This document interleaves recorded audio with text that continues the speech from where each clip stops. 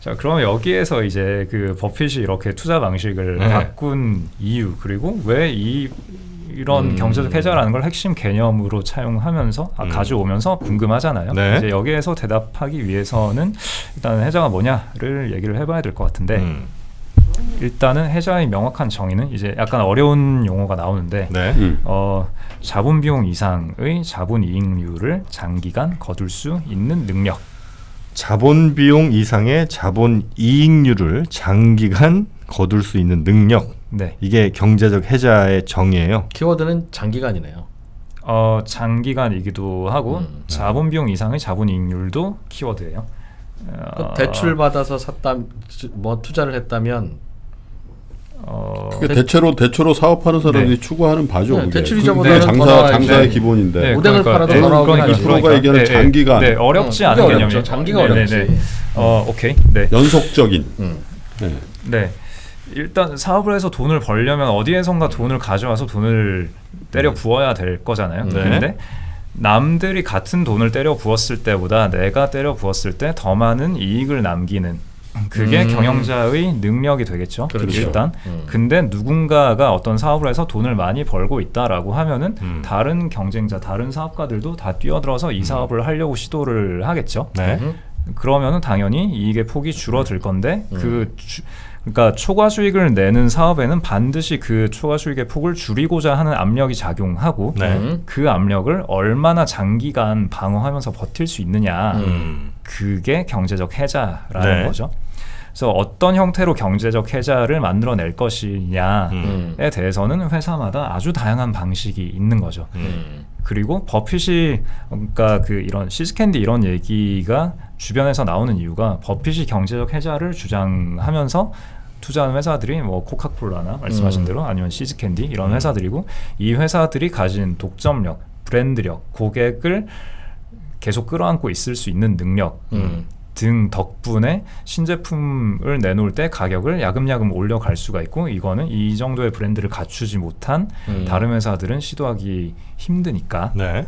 이런 식으로 설명이 되니까 보통은 경제적 해자를 브랜드 가치 혹은 독점력 뭐 음. 이런 식으로 많이 얘기를 해요. 음. 네. 근데 그것뿐만이 아닌 거죠. 경제적 해자라는 거는 아까 말씀드린 그 정의에 따르자면은 음. 그냥 쉬워요. 네, 다 잘 이해하신 대로 그런 초과 이윤을 줄이려는 압력을 버틸 수 있는 힘인 거예요. 음.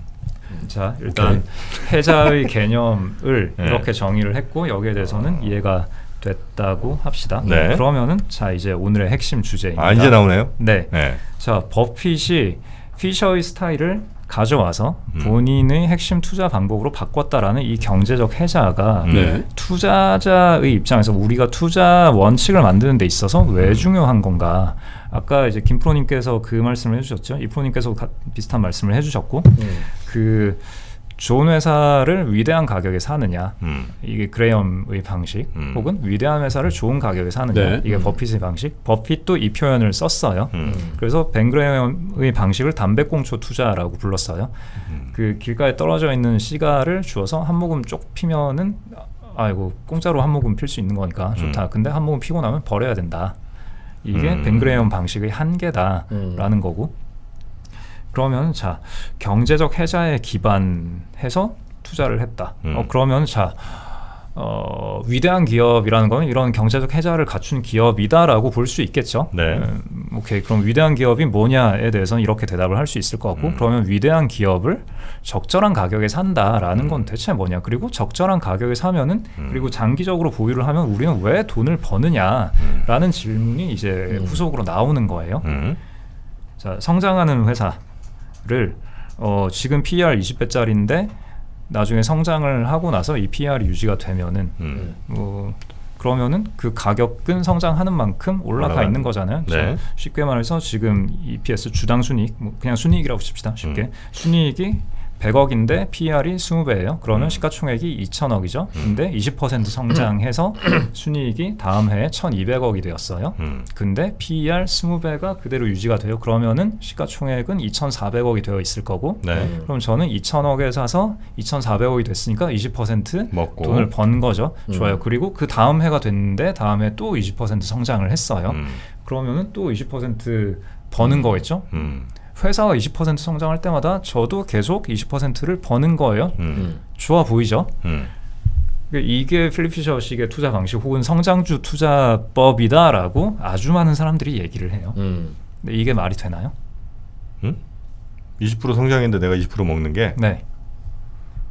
주가가 그렇게 저 반영만 돼주면 말은 되지만 주가가 반영 안 되면 그거 먹으려고 투자하는 거 아니에요? 자 반영이라는 게 어떤 건지 우리가 좀 고민을 해봐야 되는데 어 버핏이 그런 얘기를 했어요. 어 가치는 어떻게 평가합니까? 음. 했을 때 어 아 DCF에 대해서 어떻게 생각합니까? DCF 네, 음. 오케이 어려운 용어가 또 갑자기 나왔죠. 네. discounted cash flow 어, 현금 흐름 할인법이라는 개념이에요. 음. 어, 쉽게 말해서 어떤 채권이 있다 치면은 이 채권이 원금이 있고 이자가 있고 만기가 있잖아요. 네. 그러면 이 채권의 현재 가치는 얼마냐, 적정 가격은 얼마냐를 음. 계산을 할 때에는 예를 들어서 3년 만기 채권이라고 치면은 네. 뭐 1년 후에 내가 받을 이자, 2년 후에 음. 받을 이자, 3년 후에 받을 이자 더하기 원금을 음. 다 더하면 되나요? 가격. 뭐 물가 상승 좀 그렇게 빼주고. 하죠. 재건축 어. 아파트도 그렇게 해요. 네, 네. 그렇죠. 예, DCF가 아주 많은 곳에서 쓰여요. 음. 음.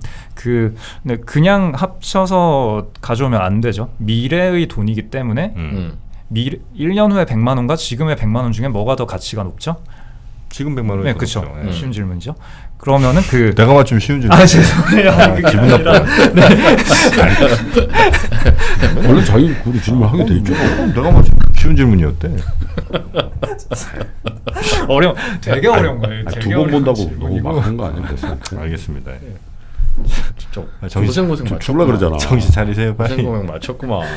이거 편집하지 마세요. 아, 예, 아, 예, 예, 예. 얼마나 순서를 어, 어려운 어려운 질문이세요. 네. 어려운. 네. 네. 하, 네. 쉽지 않네요. 네. 자, 그 미래의 현금이라는 거는 여러 가지 이유로 네. 할인을 해야 되는 거죠. 음. 얼마로 할인을 할 거냐는 또 굉장히 어려운 고민이 들어가니까 여기에 대해서는 오늘 따지지 않겠어요. 음. 자, 일단 할인을 해야 된다. 어쨌거나 적절한 할인율은 우리가 구했다고 칩시다. 음. 그래서 할인을 다 해서 더하면은 그게 현재의 가치, 네. 음. 다시 말해 적정 가격이 음. 되는 거겠죠. 그러면은 그 아 버핏이 그런 얘기를 했어요. DCF에 대해서 어떻게 생각합니까?라고 음. 물어봤을 때 DCF는 이론적으로 완벽한 가치 평가 방법이지만 실무적으로 적용하기에는 많은 무리가 있습니다. 음. 음. 그래서 버핏은 DCF를 활용하지 않는다라고 많이 알려져 있기는 한데 네. 여기에 대해서 좀 논란의 여지가 있긴 합니다. 이건 일단 나- 차치하고 음 그럼 우리가 아까 얘기한 뭐 PER을 기준으로 얘기를 했었죠. 네. 일단 PER이 뭔지에 대해서는 추가 설명은 필요 없겠죠. 네. 음. 네. 자 그럼 PER이라는 것도 DCF의 관점에서 보면 이렇게 풀 수가 있겠죠. 1년 후의 회사의 EPS 음. 순이익 음. 을 할인하고 2년 후의 순이익을 할인하고 3년 후의 순이익을 할인하고 음. 네. 그 다음에 어, 채권과 다르게 주식의 경우에는 그 영구 가치라는 개념이 들어가요. 3년만 사업하고 접을 거 아니잖아요. 네. 그러니까 4년 후에도 계속 사업을 할 건데 음. 사실 우리 인간이 보기에 3년 미래를 예측하는 것도 어렵잖아요. 음. 그러니까 4년 후는 모르겠다. 음. 예를 들어서 예. 3년까지는 예측했다 치고 4년 후는 모르겠으니까 여기에서 영구 성장률이라는 개념을 집어넣고 또 영구 할인율 뭐 그런 개념을 음. 집어넣어요. 네. 그래서 4년 후는 CV (Continuing Value)라는 걸로 그냥 퉁쳐요. 네. 음. 정말 말 그대로 퉁쳐요. 이렇게 더하면은 현재 가치가 의 나와요? 가치가 나오겠죠. 여기에 네. 더하기 어, 현재의 북밸류 그 자기 자본을 더하면 자기 자본에서 돈을 추가로 버는 것들이 애드가 될 거니까 네. 음. 이거를 다 더하면은 적정 가치가 나올 거고 음. 그 가치를 순이익으로 할인 나눠 주면은 PER이 나오겠죠. 음. 다시 말해서 적정 PER이라는 걸 우리는 구할 수 있다라는 거예요. 네. DCF의 개념을 PER로 적용해도. 환원을 했을 때, 예. 그러니까 아, 참고로 뭐 조금 어려운 개념이긴 한데 모든 valuation 기법은 DCF로 치환을 할 수가 있어요. 음. 네, 서로 다 치환이 가능해요. 음. 그러면은 PER이라는 게 일반적으로 상대가치 평가법으로 알려져 있기는 한데 또 네. 갑자기 더 어려운 얘기가 나왔긴 한데 아무튼 그 모든 거는 이렇게 절대적인 가치를 추정하는데 사용을 할 수가 있어요. 네. 자 그럼 그 관점에서 현재 어떤 주식의 PER이 20배라 함은 DCF 그러니까 이 공식을 1년차, 2년차, 3년차 그리고 continuing value로 풀어서 봤을 때 음. 그러면 1년 후에 이익 성장, 2년 후 이익 성장, 3년 후 이익 성장 음. 그리고 그 이후에 이익이 모두가 반영된 된. 음. 값이 PER이라는 거죠. 음. 네. 여기에서 아, 이게 원래 이거는 판서를 하면서 좀 설명을 드려야 되는 건데 자 1년 후가 되었다고 칩시다. 네. 음. 그럼 1년 후에 는 어, 적정 가치가 음. 어떻게 변해 있을까요? 자 PV1이라고 표현을 하는데 T 플러스 1 시점 1년 후 시점에서의 음. 이 기업의 적정 가치, 이 주식의 적정 가치는 현 시점에서의 적정 가치 대비 클까요, 작을까요, 똑같을까요? 1년 후에 적정 가치는 현 시점 대비 네. 적정 가치보다 클 거냐 작을 거냐 같을 거냐? 네, 우리가 3년을 예측을 했다고 치고 네. 그 예측이 전부 다 맞았다고 칩시다. 네. 1년 후에 20 3년 동안 매년 20% 성장을 할 거라고 예측을 했다고 칩시다. 네. 그러고 1년이 지났는데 어, 실제로 20% 성장을 한 거예요. 음. 맞았어요. 맞췄어요. 그 시점에서 또 뭐 가치 평가를 할 거잖아요. 그때의 계산 결과가 음. 자 PV1 (Present Value 1) 음. 이 값이 현 시점의 PV 제로랑 어떻게 다를까요? 음. 이 프로님. 저는 쟁포로가 모른다는데 한 표를 던지겠습니다. 네, 사실 이거 너무 너무 어려운 질문이에요. 음, 네, 저는 네, 어렵다는 정말, 건 알겠습니다. 정말 어려운. 네. 네. 같다. 어, 근접했어요. 네, 유사하다? 네, 네, 네. 그, 어, 아, 저렇게 받아먹나? 아니 그거 갔다 근접했다 그거 틀리다 아니야? 시밀러? 클로스. 시밀러고 음, 대답은 어, 할인율 1년치의 할인율만큼 성장해 있어요. PV1은. 음. 자 그러니까- 여기까지 어떻게 우리 김 프로님 괜찮으십니까? 네. 괜찮아요? 근데 나한테 질문을 하지 마세요. 어, 예, 제가 제가 그냥 그냥 이해하는 수준에서 그냥 자, 보존하고 싶어요. 늘 영악해 지금. 이게 아니, 이 프로님 됐어 안 돼? 네. 아니 솔직하게 갑시다 네. 우리. 이 프로님 어때요? 안된 아니, 된 거로 근데- 쳐야 될 것 같은데. 네, 이게 이게 너무 어려운 얘기인데 너무 네. 중요한 얘기예요. 너무 너무 너무 중요한 얘기예요. 음. 그래서 조금 이- 쉽게는 안 됩니까 혹시? 자? 자 네. 쉽게 제가 말씀을 드릴게요. 네. 현 시점에서 음. 3년의 미래를 예측할 수 있다라고 가정을 했잖아요. 네. 음. 그러고 1년이 지났어요. 음. 그러면 1년 후에는 우리가 예측한 기간이 몇 개가 남죠? 두 개가 남죠. 두 네. 개가 남죠. 네. 그럼 두 개 남은 걸로 PER 20배가 유지가 안 된다는 거죠. 자, 지금 2020년이죠. 네. 자, 현 시점에서 21, 22, 23을 예측을 했다고 칩시다. 근데 네. 21 시점에서 음. 예측치 남은 거 몇 개 남아 있어요? 22, 23만 남아 있잖아요. 음. 그거 가지고는 PER 20배를 만들 수가 없어요. 음. 자, 그러면 21년 시점에서 24년 거까지 가지고 오면은 네. 근데 24년에 음. 23년 대비 또 20% 이익 성장을 할 거다라고 음. 하면은 다시 PER 20배를 적정하다라고 주장을 할 수가 있게 되죠. 제 그 수준으로 한번 다시 네. 여쭤보겠습니다. 100억 이익 날 거라고 생각을 했어요. 오케이. 아니 네. 일단 올해 100억이 네. 났어요. 네. 그리고 매년 20%씩 선장을 할 거예요. 네. 내년에 120억 될 거 아닙니까? 그 다음에 144억 네. 맞나? 20% 네. 성장하면? 네. 네. 그렇게 해서 이제 3년 정도 를 예상을 했어요. 네. 음. 근데 1년 지났더니 120억 벌었어요. 120억 네. 예상대로 네, 됐어요. 네, 아, 음. 예, 그 올해 100억을 벌었고 이제 120억을 예상하게 되었죠. 예, 네. 근데 1년 지나서 네, 100억 100, 벌었어요. 예, 120억이 됐어요. 네. 만약에 됐어요. 네, 20% 됐어요. 성장했죠? 네. 음. 뭐가 문제냐는 겁니다 지금. 근데 뭐가 내 예상보다 안 내가 예상보다 안 된 건 없죠. 안 된 거 없어요. 예. 근데 뭐가 기대치가 낮아졌다는 거예요? PR 기대치가? PER이 예. 자, 여기서 예상대로 다 맞았다고 칩시다. 네. 기업 가치가 달라졌나요? 기업 가치가 안 달라졌지. 가치가 음. 예상대로 가는데 뭘 달라져? 아 예상보다 예상보다는 예상대로죠. 네. 예. 네. 예상- 근데 왜 기업 가치가 올라 있죠? 기업 가치가 20% 올라 있어야 내가 도, 20% 돈을 버는 거잖아요. 예. 기업 가치는 영업이익 아, 이익이 늘었으니까 아 가치가 아 예상 가치보다는 예상 가치대로지만 기업이 돈은 더 벌었잖아요. 그러면 주가는 더 올라가는 거 아니에요? 왜요? 아 왜? 왜냐면 시장의 불확실성이라는 게 존재했는데 그걸 아 사, 그렇지. 사라지게 했어요. 아 좋아. 그만큼이 할인율이에요. 에? 네. 그래서 할인율만큼 네. PB1이 올라갔다라고 말씀드린 거잖아요. PB1. 네. 1년 지난 거. 네. 그래서 1년간의 불확실성이 해소가 됐어요. 네, 해소됐어요. 네. 그래서 그만큼은 기업 가치가 올라갔어요. 네. 오케이. 네. 근데 그 가치가 이래서 네. 뭘, 뭔 말인지 모르자 했잖아요, 우리 그죠? 음? 이래서 주식 투자보다는 부동산 투자가 편하다는 거예요. 어. 내가 부동산으로 설명해 줄 테니까 네. 똑같은 얘기 설명해 줄 테니까 얼마나 이해가 빠른지 봐요. 이건 내가 설명을 잘하기 때문이 아니라 음. 아파트이기 때문에 이해가 되는 겁니다. 해봐요. 재건축 아파트가 있어요. 네. 재건축 아파트라는 게 뭐예요?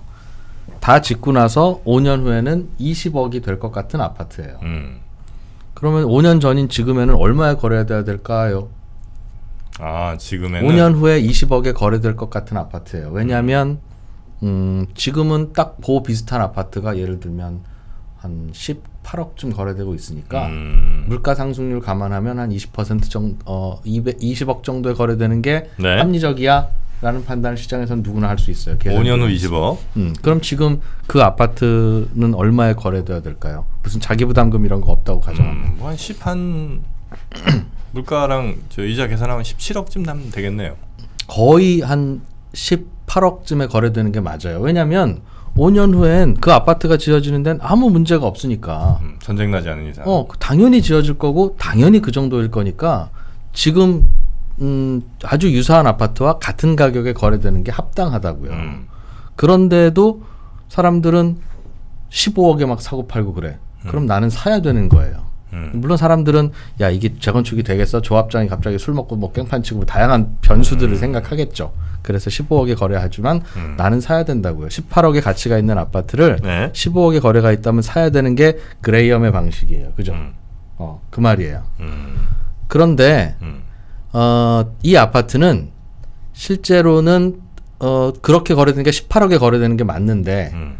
어느 날 이 아파트를 워렌 버핏은 20억 주고 산다는 거예요. 음. 야 이런 아파트 있으면 열 채 다 사. 그럼 가격 막 올라갈 때도 20억 주고 사는 거예요. 세금 한번 맞아 봐야지 또 정신. 어, 종부세 이런 거 없다고 가정합시다. 주식이니까. 네. 그럼 20억에 사는 저건 웬 미친 짓이냐라고 생각하지만 네. 어 재건축이 되고 보니까 우리가 20억쯤에 거래될 거라고 생각했던 아파트가 25억에 거래되기 시작했어. 음. 워렌 버핏한테 가서 아이씨 아니 할아버지지 할아버지 어떻게 저거 25억 되실 줄 알고 음. 20억에 막 사들이셨어요? 라고 물으면 그게 경제적 해자다. 음. 아, 라는 건데 그 사실 그 당시에는 그걸 예측하면 안 되는 거죠. 도대체 음. 뭘 근데 이 아파트가 여기서 해 드려야 될 설명은 3년 후에 5년 후에 20억에 거래될 거라고 예상했던 아파트가 어떻게 25억에 거래됐지? 라고 생각하면 그 미래에 우리가 예측할 수 없었던 어떤 변수가 작용한 거예요. 음. 예를 들면 infinity pool을 만들어 놨는데 사람들이 그게 있으면 5억 프리미엄 더 줘. 음. 어, 그런 상황. 아니면 뭐 재건축 상한제나 뭐 이런 걸 만들어서 뭔가 희- 희소성이 생겼어. 거의 초등학교 들어갔어. 뭐 뭐 어쨌든 네. 뭐 연예인이 살아. 요즘 중국인들이 갑자기 대- 재건축 아- 우리 서울 아파트를 좋아해. 네. 뭐 이런 등등은 5년 전에는 우리가 예상할 수 없었던 거고 함부로 예상하면 안 되는 거지만 음. 그의 눈에는 보인 거라고요. 음. 어. 그 그런 것이 존재하는 거를 이제 경제적 해자라고 하고 음. 그때는 25억 같이 간다는 건데 음. 오늘 우리 선생님께서 말씀해 주시는 거는 음. 야 그건 정말 베팅이지 음. infinity pool을 사람들이 좋아할지 중국인 관광객이 그때 올지 도대체 무슨 근거가 있- 뇌피셜이지 그게 음. 뇌피셜이지 그게 무슨 어떤 근거로 그걸 투자한다는 음. 말이냐라고 하니 그거는 말이 안 되는 투자다. 음. 그러니 워렌 버핏식의 그런 어, 해- 경제적 해자를 노리고 프리미엄을 주고 사는 투자는 말이 안 되는 거다라고 하는 게 우리 선생님 말씀이고 그러나 그런 게 존재하면 네. 음 그럼 뭐 주입할 수 있다 얼마든지 어떻습니까? 음, 아, 아, 매우 좋습니다. 어, 마지막에 약간 그죠? 이제 약간 표정이 약간 좀 어, 야, 내가 안 다. 해버리면 네. 선생님 뭐가 되시니? 네. 어? 네, 저된 제가 거야, 남겨주신 그래서. 것 같은데 일단 예, 방금 비유 너무 좋고요. 여기에서 자 아까 사례로 드신 음. 뭐 infinity pool에 대한 사람들의 선호 음. 혹은 중국인이 온다 음. 혹은 초등학교가 옆에 들어선다 음. 이거는 누가 한 거죠? 아파트가 한 게 아닌 거죠. 네. 다른 주변 환경이. 그렇게 된 거죠. 네. 음, 그러니까 그거는 아니라는 거야. 그거는 그, 그 그렇죠. 아파트에 네. 갖고 있는 infinity pool인데 아파트입니다. 아, 아 그러니까 예, 그 아파트가 옥상에 있는 그 예, 수평선이 보이는 그 풀. 네네네네. 그거 infinity 예, 예, 뭔지는. 아는데요. 거기 예, 살아요, 지금. 그러니까 자 아, 그래서? 어. 그래서 제가 아까 이제 용어를 그렇게 말씀을 드린 게 인피니트 풀에 대한 사람들의 선호가 그렇죠. 현재보다 나중에 음. 바뀔 거냐. 이거는 아파트가 어떻게 하는 게 아니라 주변 환경이 환경. 음. 바뀌는 거잖아요. 그렇죠. 네. 음. 자, 아파트 천재인데 형. 그러면은 아파트와 주식의 차이로 들어가면은 음. 아파트는 본인이 주체가 되어서 어떤 아파트는 행위의 주체가 아니잖아요. 음. 아파트는? 네, 아파트의 입주자들이 뭔가를 할 수는 있겠죠. 네. 네, 근데 아파트라는 이 부동산은 행위의 주체가 아니잖아요. 음. 음. 근데 기업은 음. 행위의 아, 주체죠. 네. 자, 그럼 여기에서 경제적 해자가 뭐냐를 음. 다시 좀 봤을 때 아까 경제적 해자의 정의가 자, 자본 비용 이상의 자본 이익률을 장기간 거둘 수 있는 능력이라고 음. 표현을 했는데 그럼 이 능력은 누구의 능력이죠? 기업? 기업의 능력이죠. 음. 그렇죠. 네. 그러면은 조합장님의 무슨 에헤이. 인테리어 감각 이런 거 생각해야 되겠구나. 그래. 그럴 수 있죠. 예, 음. 넓게 비유를 하자면 그럴 수가 네. 있는 거예요. 그러면 그 필립 피셔의 책을 읽어보면 굉장히 재밌는 게그 좋은 아, 투자하기에 좋은 주식을 고르는 15가지 기준을 언급을 해요. 네. 근데 그 기준이 다 보면은 음. 어 좋은 제품이 있는가, 뭐 음. 향후에 또 매출액을 끌어올릴 수 있는 제품이 있는가, 음. 혹은 어, 인사 시스템이 잘 되어 있는가, 혹은 네. 경영진의 음. 깊이 등등등 얘기를 하는데 주변 환경에 대한 얘기는 아무것도 없어요. 음. macro가 어떻게 되어 있고 정부의 규제 방향이 어떻게 되어 가고 있고 음. 뭐 어떤 industry에서 일을 하고 있는지 네. 환율이나 뭐 그런 얘기는 하지 않아요. 음. 코카콜라라면 날씨가 더워질 거야 지구 온난화로 이거 없다는 거죠. 없다는 거죠. 음. 더워지면 더워지는 대로 추워지면 추워지는 대로 코카콜라는 좋은 제품을 만들어서 잘 팔 거야. 네. 음. 그게 경제적 해자라는 거죠. 코카콜라니까. 그러니까 그 근데 이게 어 기업 분석 방법에 대한 책이 아니라 투자서잖아요. 필립 피셔의 음. 책은 투자자를 위해서 좋은 좋은 기업을 고르는 방법이 아니라 좋은 주식을 고르는 방법인데 음. 그냥 회사 내부 얘기만 하고 있단 말이에요. 네. 네. 이게 왜 그런 걸까를 음. 고민을 해보면은 여기에 대한 힌트를 얻을 수가 있는데 음. 자, 어 아까 자기 자본 이상의 자본 이익률을 장기간 거둘 수 있는 네네. 능력은 기업의 능력인 거고 그러면은 어, 버핏이 그런 멘트를 해요. 타이거 우즈에게 음. 제가 골프를 치는 방법을 가르칠 필요는 없습니다. 음. 네. 이런 경제적 해자는 누가 만든 거죠? 기업에 있는 사람들이 만들어낸 거죠. 네. 음. 그러면 이 사람들이 이런 해자를 잘 만들어서 잘 지켜 나가고 있다면은 그러면 자 아까 저희가 뭐 PB 제로니 PB 원이니 막 어려운 얘기들을 음. 막할 때그 음. 예측을 하는 주체는 누구였죠? 예측은 제가 투자자. 투자자가 하는 거죠. 네. 근데 투자자가 하는 예측에는 한계가 있는 건데 기업에 있는 사람들은 음. 오늘도 열심히 일을 하고 내일도 열심히 일을 할 거잖아요. 음. 그러면 자 아까 기업이 성장했을 때 기업 가치도 함께 성장하기 위해서는 현 음. 시점에서 예측하기 어려운 쉽게 말해서 그 4년 차의 음. 이익 성장을 내가 예측할 수 있어야 한다라는 모순에 봉착을 했죠. 네. 근데 그 4년 차의 성장은 누가 만들어내는 거죠? 기업. 기업이 만들어내는 네. 거죠. 음. 그러면은 기업이 만약에 이런 경제적 해자를 가지고 있다면은 음. 4년 차에 우리가 3년을 예측할 수 있다라고 전제를 한다면은 1년 차가 되었을 때는 새로이 중요한 거예요. 새롭게 4년 차에 대한 예측을 할 건데 음. 그 4년 차에 대한 예측 결과 값이 확률적으로 이 3년 차보다는 좀 더 높은 쪽에 있지 않겠나. 3년 차보다 4년 차가 더 노- 확률적으로 맞을 확률이 높다고요? 더 그 4년 차의 순이익이 3년 차의 순이익보다 네. 더 높아져 있어야 네. 그래야 돈을 버는 거잖아요. 아, 그래야 가치가 올라가는 거니까. 그렇죠. 네. 근데 그걸 현 시점에서 나는 예측을 못 하잖아요. 아까의 네, 그 전제에 따르자면. 그렇죠. 근데 4년 차의 성장을 만들어 내는 거는 이 음. 기업이죠. 음. 음. 경제적 해자의 정의에 따르자면은 음. 이 경제적 해자가 있으면은 4년 차, 1년 차가 되었을 때 외부인들이 투자자들이 예측을 하는 4년 차의 값은 3년 차보다 좀 더 위쪽으로 설정될 음. 확률이 높은 거죠. 그러니까 경제적 해자에 대해서 다들 봤다 하더라도 음. 그래서 내 추정치의 결과값이 올해 내년에 추정치의 그 값을 바꾸는 거냐 음. 이 싸움이 되면 내가 남들보다 똑똑해야만 이길 수 있는 거죠. 음. 근데 나는 그거 잘 모르겠고 음. 이 회사 이 회사는 훌륭한 회사가 있기 때문에 4년째가 되었을 때 아마도 지금보다 더 나은 뭔가를 보여줄 수 있을 거야. 음. 나는 여기에 베팅을 한다면 음. 같은 걸 보더라도 남들과 다른 투자를 할 수 있게 되는 거죠. 음.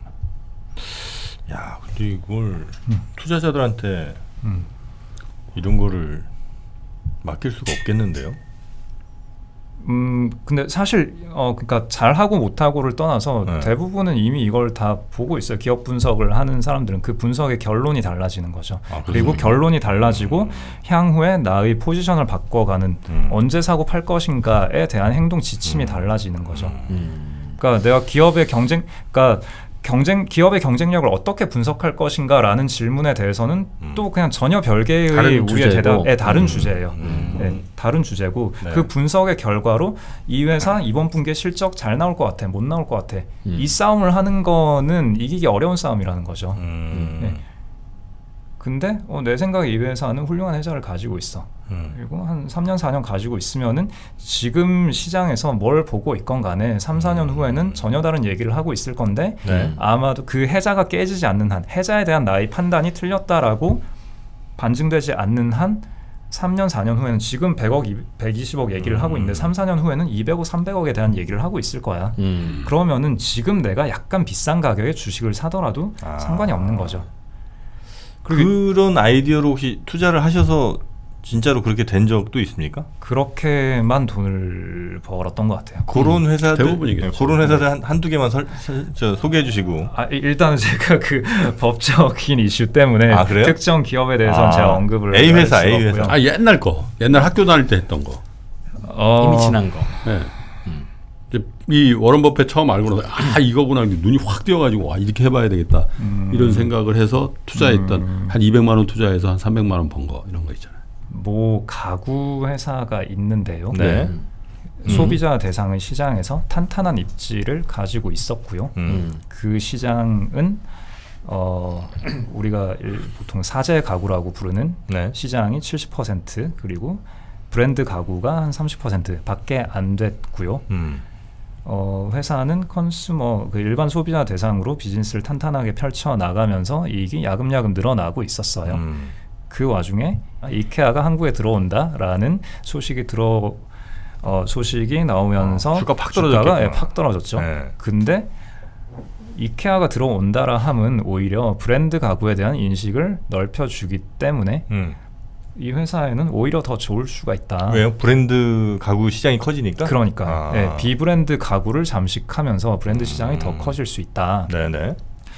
라는 생각이 있었고 그 주식을 샀었고 그 이후에 회사는 음, 그 오해가 해소가 되면서 주가가 오른 것도 있지만 회사가 계속 돈을 잘 벌면서 주가가 야금야금 음. 올랐어요.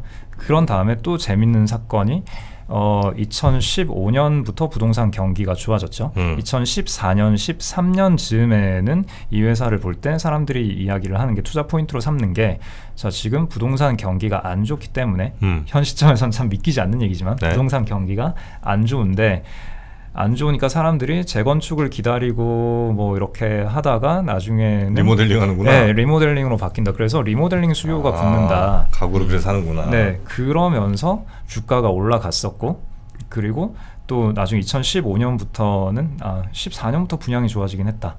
어 근데 가구는 이제 착공 아, 완공 시점에 거의 하단 그 후반부에 들어가니까 네네네. 실적은 그때 꽂히겠죠. 음. 그러면서 2014, 15를 넘어가면서 어 이제는 그 B2B 보통 아파트를 지을 때 네.